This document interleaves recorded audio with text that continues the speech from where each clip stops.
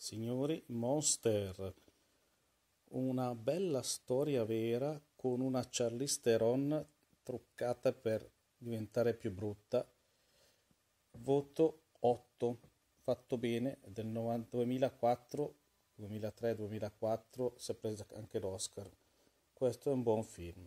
Un saluto a tutti, iscrivetevi al canale, mettete mi piace. Ciao ciao ciao!